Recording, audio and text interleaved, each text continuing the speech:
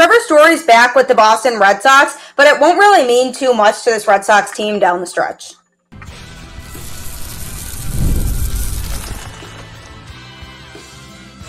You are Locked On Red Sox, your daily Boston Red Sox podcast.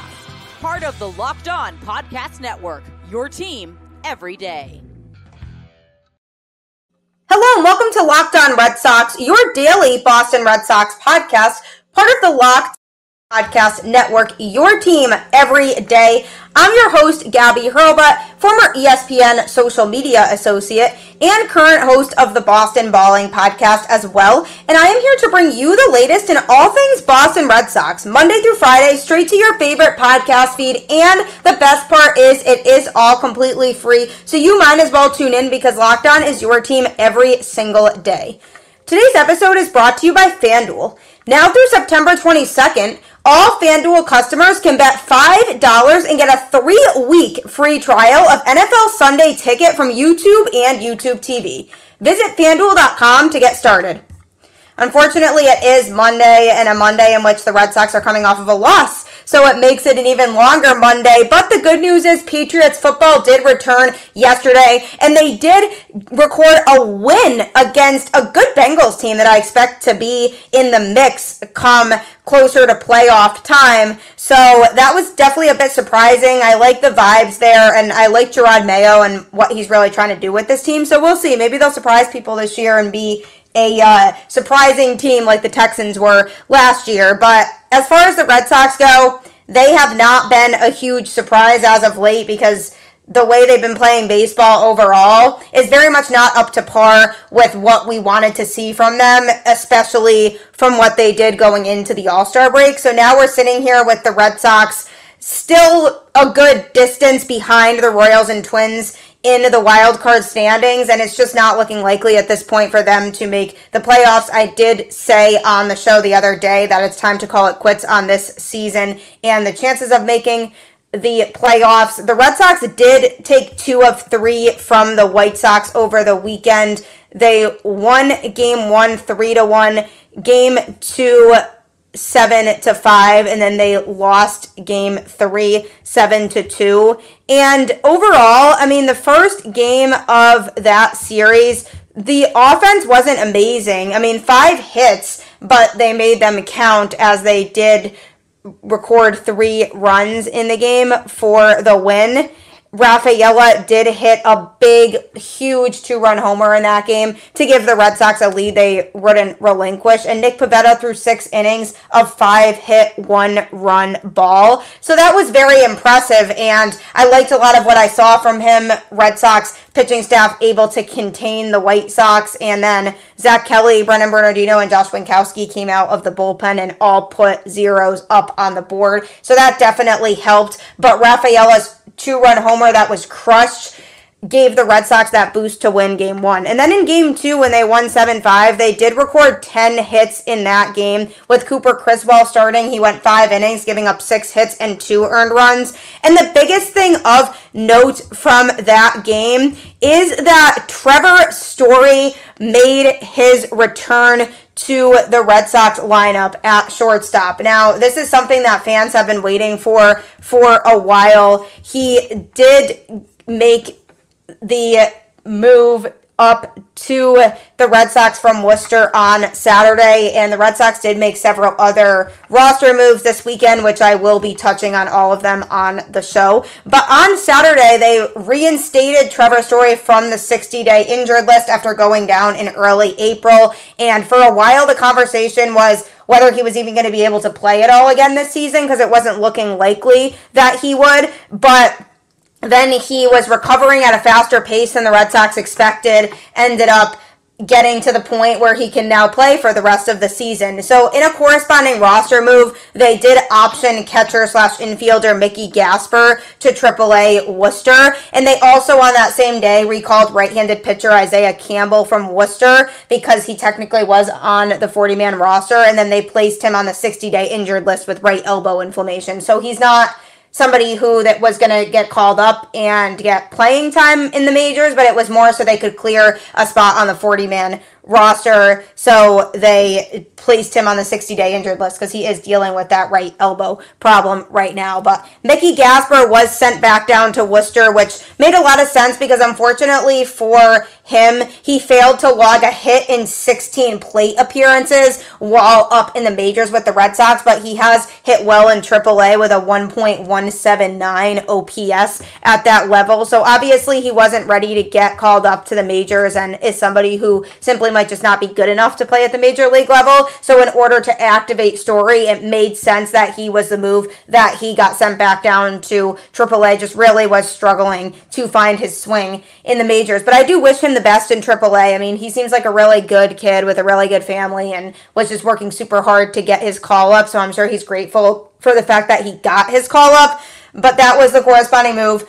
Trevor Story was activated and for him, he hadn't played since April 5th. To start the season, he opened up the season in that opening series for the Red Sox against the Mariners when they were on that West Coast trip at the Mariners on March 28th on opening day. He went 1 for 4 to start his batting average at a 250, but then he went 0 for 4 the next day to drop down to a 125 average. Drop down even further to an 077 average on March 30th when he went 0 for 5, and then in the final game against the Mariners on March 31st, he went 2 for 4 to bump himself back up to a 176. So he was all over the place in that first series of the season, not fully locked locked in and having his fair share of struggles at the plate and in terms of strikeouts in that series. He did rack up at least one strikeout in all of those games with two strikeouts in the final game of that series on March 31st. Then the Red Sox hit the road to Oakland to play the A's. The first game of that series, he went 1 for 4 with two RBIs in that game bumped his batting average up to a 190 and then dropped up a lot to a 269 after the second game at the Athletics because he went three for five in that game and drove in two runs. He did strike out twice, but it certainly was a boost to his batting average. Then on April 3rd, he went 0 for 3 with a walk and a strikeout went from a 269 to a 241 average. And then on April 5th, when the Red Sox were in their next series against the Angels, that was the game where he faced the injury and went down and has now been out ever since until this series against the White Sox. Went over 2 in that game with a 226 batting average. So he was sitting at a 226 average when he came back. And then on Saturday versus the White Sox, he did record an RBI single, going one for four in that game with two strikeouts to boost his batting average up to a 229.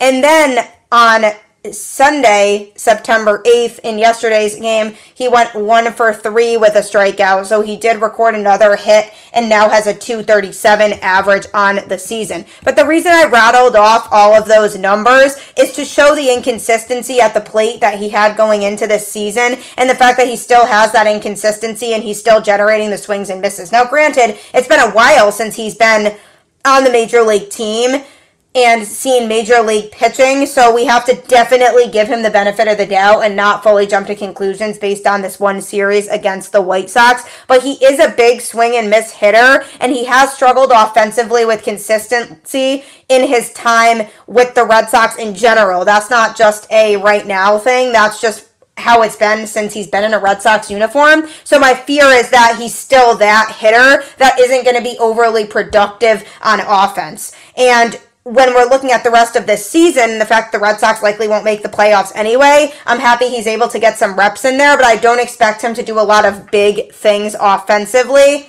What he does bring to the table is his defense. He is a great defender, and he's somebody who is going to be able to have some lockdown plays that he makes in the infield, and it's going to generally make the Red Sox look cleaner as an overall infield, which I think is something that's super important because defensively, the Red Sox have made a lot of miscues in his absence. And for him to be in there and making good plays defensively at shortstop, it's going to make the Red Sox look more like a cohesive unit in that infield, which is huge. So that certainly is something that he brings to the table that I find to be super important.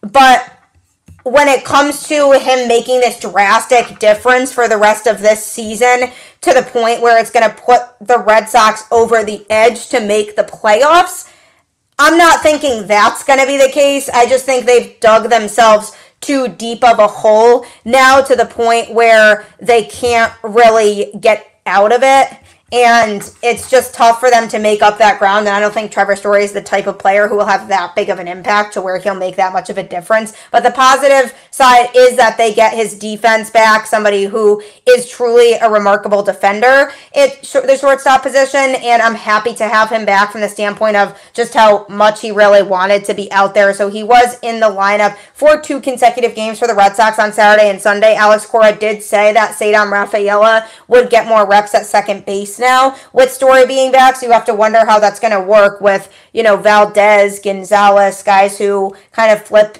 in the infield positions, how that's going to affect their playing time because they do want Story to be the everyday shortstop right now. So Rafaela is going to be getting more opportunities at second base. So it'll be interesting to see how that goes for him and for the Red Sox and how it affects some lineup reshuffling. I mean, Connor Wong, who's been playing in the infield here and there this season, played in the outfield for the first time ever in a game earlier this week. So it just shows that there might be some weird roster removement going on. But overall, I think Story's really happy to be back. Him being back will definitely make a difference defensively. Do I think him being back is going to make this big enough difference to where it's going to push the Red Sox into the playoffs? No. But hopefully he can get his bat going so that next year he can be a big piece on offense.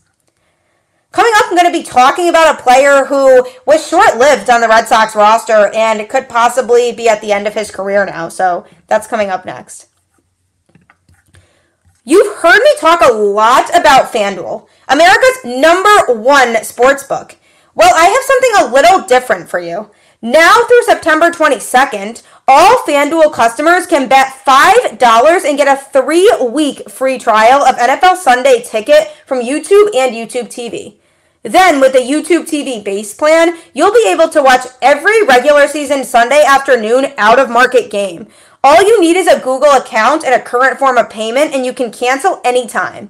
And if that's not enough, FanDuel also has something special for our listeners this weekend. Be sure to check out FanDuel's Profit Boost in the app and use it for FanDuel's Double Your Winnings for all Sunday 9 8 pregame moneyline bets. Profit Boost will be live starting Friday, 9 6, and this will continue throughout the football season. View your account page now to learn more about your boost. Just visit fanduel.com to download America's number one sportsbook. FanDuel is addicting. My fiance literally this morning was on his little spreadsheet making his bets for the day for what's going on with games later tonight. So you might get addicted, but don't say I didn't warn you. Just check it out today. Thank you for making Locked On Red Sox your first listen today. For your second listen, enjoy the Locked On MLB podcast. Host Paul Sullivan, aka Sully, is here daily to provide national expertise with his trademark humor to help you get ready for the MLB playoffs here in the dog days of summer. Prepare for the Fall Classic with Sully, who has it all covered every single day on Locked On MLB, available on YouTube or wherever you get your podcasts. Part of the Locked On Podcast Network, your team every day. Sully is very fun and so entertaining, so I highly recommend you checking out his show after this. The Boston Red Sox got a key player in Trevor Story back over the weekend. He returned in the second of a three game series against the White Sox. Do I think his back presence is going to be this major development and a game changer to where it'll help the Red Sox make the playoffs? No, but I do think, especially from a defensive standpoint, having him back is going to be a big boost to this team. And it showed over the weekend with the defensive plays that he made. But he returned in a big game for the Red Sox on Saturday, a game that they won 7 to 5. And there were other things of note that happened in that game like Romy Gonzalez went three for four, and so did Tyler O'Neill. O'Neill also crushed two home runs in the game, and that was his sixth multi home run game of the season, which is tied for the most multi home run games of a season by a Red Sox player since David Ortiz in 2014. So if he has another multi home run game this season, that would put him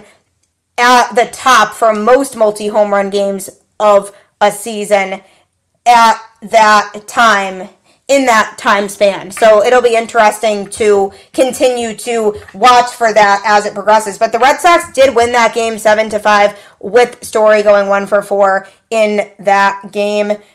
And he now has a 289 on base percentage and 314 slugging to go along with a 229 average. Displayed some good defense in the game for Boston as well.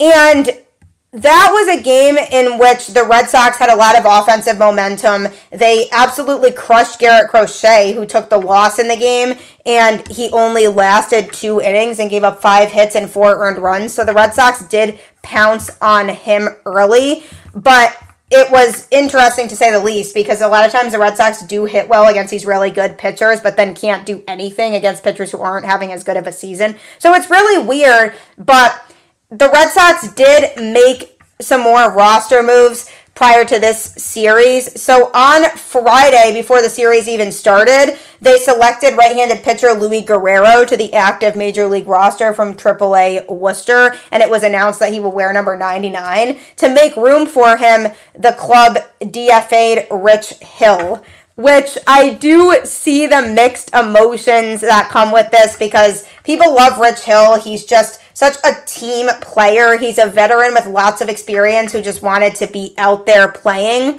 But the Red Sox decided to DFA him, and Alex Cora did explain that a lot of it has to do with Guerrero, and the organization was impressed with him and what they've seen from him in AAA. He's throwing the ball well and throwing a lot of strikes, generating swings and misses, and we felt like it was time to get him here. With the Rich, obviously it's a tough one. Everybody feels about him that he's part of the organization. You know he's going to be a Red Sox for life, but I think it's more for us to start getting guys here that can contribute now and obviously in the future.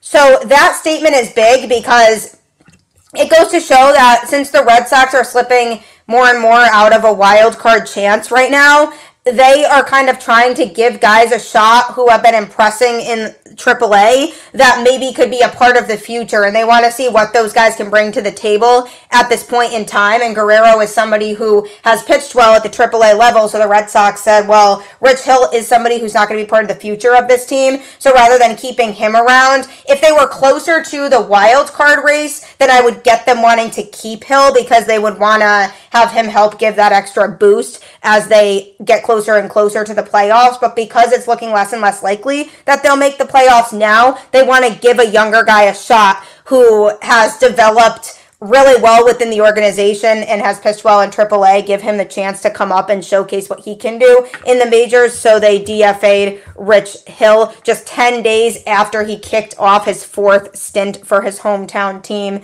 And it's possibly marking the end of a career that lasted two decades, which is crazy. I don't know that anybody's going to pick him up at this point. So that might have been the end of the road for him, which is really bittersweet to think about. I mean, a great career that he had. So if he does have the end of his career now, there's no shame in anything he did throughout the course of his career that he should be upset over. What a successful career for him. And if it's not the end, well, that's awesome for him and he can continue to do big things. But it's also sad if he is done because Rich Hill's been around for so long, so it'll be weird without him. But I definitely wish the best for him, regardless of what happens with him moving forward. But Luis Guerrero spent part of his childhood living in Boston and rooting for the Red Sox, and this is his first stint in the major leagues for him, who was one of the hardest throwers in the Red Sox farm system this season at AAA Worcester. He's rated as the number 28 Red Sox prospect by MLB Pipeline, and they're really excited about him Rich Hill had taken a self imposed break from baseball for the spring and summer to coach his 12 year old son Bryce's Little League team. He kept his left arm in shape, and the Red Sox brought him back to fortify a pitching staff that had just been plagued by injuries and inconsistent performance since the break. And then on August 29th, he retired all four batters he faced and struck out two of them in his first appearance of the season. That made him the only active player in the majors to make at least one appearance in each of the past 20 seasons That night, he said it's pretty special. I think just effort and work. Everybody asks, what's the secret? It's work. Just keep putting in the days, one drop in the bucket every day. His second appearance was also a good one as he got four outs and didn't allow a base runner at Detroit on August 31st. And then the next day, even though Cooper Criswell had a perfect game for four innings with the Red Sox holding a 1 0 lead, Cora opted to bring in Hill to face a boatload of left handed hitters. But that outing didn't go well as he walked leadoff batter Kerry Carpenter in a tough 12 pitch plate appearance, and then two batters later, Spencer Torkelson hit a two run homer, and the Red Sox were on their way to the start of what ended up being a five game losing streak that they finally snapped on Friday night against the White Sox. And then in Hill's fourth and final appearance on Wednesday night against the Mets, he tried to get closer Kenley Jansen out of a mess in the bottom of the eighth inning, but instead walked a pair of batters with the bases loaded. That was the game when the Red Sox just walked a bunch of batters in that inning, five total walks in the inning, and completely fell apart in such unacceptable manner. So he was part of that. But Cora doesn't think his swift ramp up back to the majors played much of a role in his struggles the last two outings or in the team's decision to move on from him.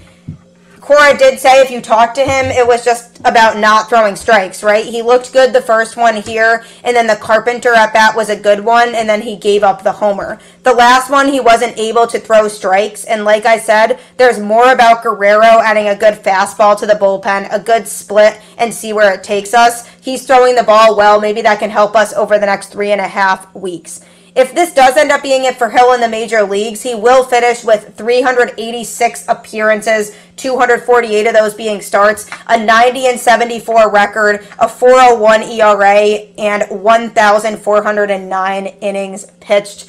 And he will remain the gift that keeps on giving for people who play the immaculate grid, certainly, because aside from his multiple stints for the Red Sox, he also pitched for the Cubs, Orioles, Guardians, Angels, Yankees, A's, Dodgers, Twins, Rays, Mets, Pirates, and Padres. So he has so much experience with so many different teams, but at the end of the day, the Red Sox wanted to give Guerrero, the 24 year old, a chance, who owns a 331 ERA, 20 earned runs over 54.1 innings pitched with a .198 opponent batting average and 13.09 strikeouts per 9 innings. 79 strikeouts in 42 games with Worcester this season. The right-hander has allowed just one run in his last 10 outings dating back to August 4th in the minors, posting a .68 ERA with 23 strikeouts and 13.1 innings during that span. He was born in the Dominican Republic and moved to Boston's Franklin Park neighborhood as a child and grew up in the area. And he was then selected by the Red Sox in the 17th round of the 2021 first year player draft. And he's posted a 2.93 ERA, giving up 48 earned runs over 147.2 innings pitched in 118 career minor league games. So he's somebody that has impressed in the minors and numbers wise. He looked really good, so the Red Sox wanted to give him a chance after his success in AAA. And he was used in the series, so he did not pitch Friday night when the Red Sox won 3 to 1. He also did not pitch on Saturday when the Red Sox won 7 to 5, but he did make an appearance in Sunday's 7 to 2 loss. He pitched two thirds of an inning and gave up zero earned runs in that span. Basically, Zack Kelly was the one responsible for the downfall. He came in out of the pen and just pitched a third of an inning and gave up five earned runs in that span with one walk and one strikeout. 358 ERA for him on the season. Now, I am so over Zack Kelly. When the Red Sox hopefully do a complete revamp of the bullpen this offseason, he should be one of the first ones to go. I am so done with him. He had a complete collapse, but Louis Guerrero did come in to record the last two outs of the game, and he looked good putting up zeros across the way there. Definitely a frustrating loss for the Boston Red Sox in this one, but he was able to get Robert to hit a sacrifice fly, and it did score a run, but then Benintendi flied out to center to end the inning. But he did give up the sacrifice fly, but the run wasn't charged to him because it was when Zack Kelly was pitching that he got on base. So that's why that run was charged to Zack Kelly and not Guerrero. But he still looked good, went out there and got two outs. So definitely cannot complain about that. So we'll see how he does the rest of the season. I mean, again, the Red Sox and their playoff hopes aren't exactly existent at this point, but having Guerrero in there to help make an impact could certainly help us get more excited for the future of this Boston Red Sox team and the organization if they know they have a good piece in him. Coming up, the Red Sox did do a little bit more roster shuffling over the weekend, parting ways finally with a player who seems like he had 6,000 lives with the Red Sox. So that's coming up. Passion, drive, and patience. The formula for winning championships is also what keeps your ride or die alive. eBay Motors has everything you need to maintain your vehicle and level it up to peak performance. Superchargers, roof racks, exhaust kits, LED headlights, and more. Whether you're into speed, power, or style, eBay Motors has you covered. With over 122 million parts for your number one ride or die, you'll always find exactly what you're looking for. And with eBay Guaranteed Fit, your part is guaranteed to fit your ride every time or your money back. Because with eBay Motors, you're burning rubber, not cash. With all the parts you need at the prices you want, it's easy to make your car the MVP and bring home huge wins. Keep your ride or die alive at ebaymotors.com. Eligible items only, exclusions apply. eBay Guaranteed Fit only available to U.S. customers. eBay Motors is a lifesaver, especially for somebody like me that doesn't really know anything about cars. So taking advantage of it today, if you're anything like me, will change your life. The Red Sox did record a 7 to 2 loss on Sunday against the White Sox when Luis Guerrero did get his opportunity to pitch for the first time with the Boston Red Sox and he did get two outs when he was pitching. So that was good to see. The Red Sox are trying to give him a shot for sure um, and see what he has up his sleeve. But it was also a game that involved many mistakes for the Red Sox. A bobble by Casas at first base that led to the White Sox scoring a run. A miscue by Greg Weissert when he was pitching to drive in a run for the White Sox. And many base running mistakes for the Red Sox just running into outs in the game. So a sloppy one overall for Boston, but I'm glad Guerrero got his opportunity in that one to showcase a little bit of what he can do since he's been playing so well in AAA. But the Red Sox did make some roster moves prior to the game on Sunday. They selected right handed pitcher Richard Fitts to the active major league roster from AAA Worcester. He will wear number 80 with the team. And they optioned right handed pitcher Chase Shugart to Worcester following Saturday night's game against the White Sox. Now, Chase Shugart had pitched in the Red Sox 7 to 5 win on Saturday, but he didn't look good. He came in in relief of Criswell, who got the win in the game, going five innings, giving up six hits and two earned runs. And then Shugart came in after him and threw 1.1 innings, giving up four hits and three earned runs. He gave up a three run homer, and it was tough because the Red Sox were up 7 2. It felt like they were coasting through, and then he struggled in the inning. He gave up a walk and then a single, and then a flyout, and then gave up a three run homer to Andrew Benintendi to make it a 7 to 5 game. And then he gave up a single again after the home run. So then Alex Cora pulled him and brought in Brennan Bernardino, who got the last two outs of the inning. But the game was close and it remained 7-5 and Kenley Jansen was able to come in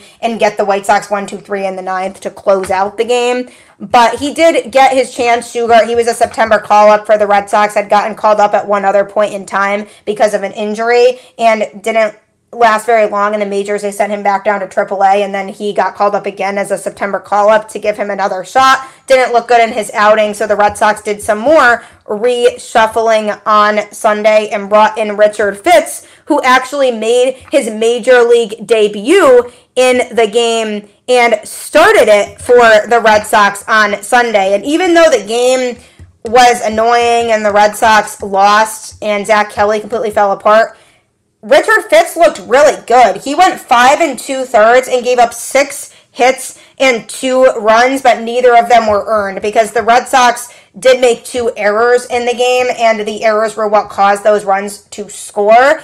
And he struck out two and walked one. So he has a 0.00 ERA still on the season. He was coasting through that five and two thirds innings, and then Greg Weissert came in and pitched 1.1 innings, gave up a run that also was unearned. And again, it was the defense that was causing these runs to score. But I was really impressed by what I saw from Richard Fitts in that major league debut that he made. And he started the game. It was supposed to be a Tanner Houck start, but Alex Cora decided to push back his next start because he struggled a bit in his last outing.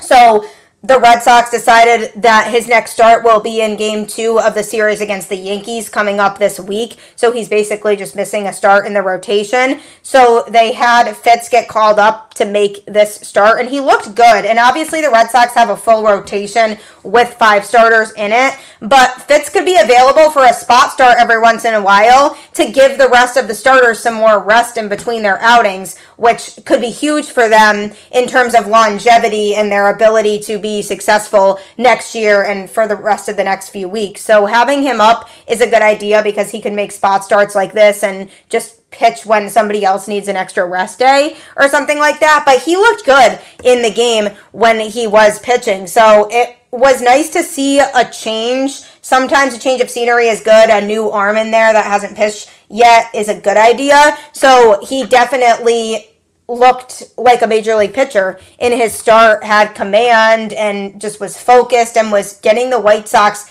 out pretty easily in this game.